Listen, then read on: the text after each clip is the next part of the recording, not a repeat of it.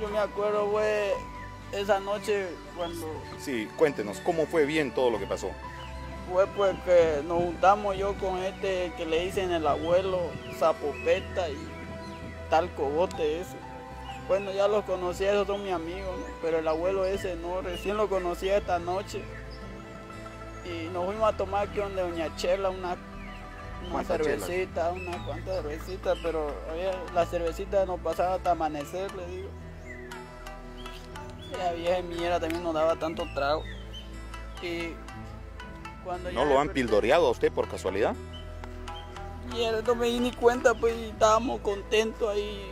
Nomás veía una y otra manoseada, pero entre hombres uno no sospecha pues las mariconadas. Y agarró y esta mañana ya me desperté y cuando quise ir a cagar ya mi, ahí en la montaña mi culo soplaba.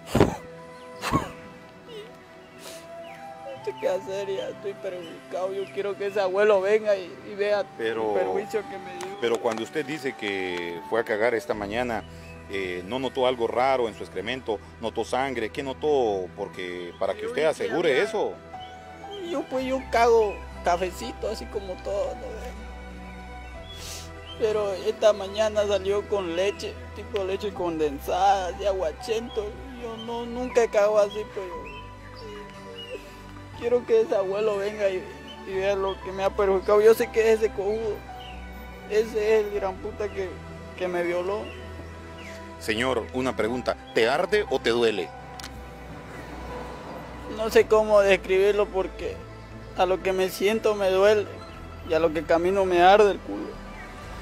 No, no hay solución, ya me apoyo en la, en las aceritas, en la baranda. Yo antes me podía apoyar, pero ahora ya no. Pues.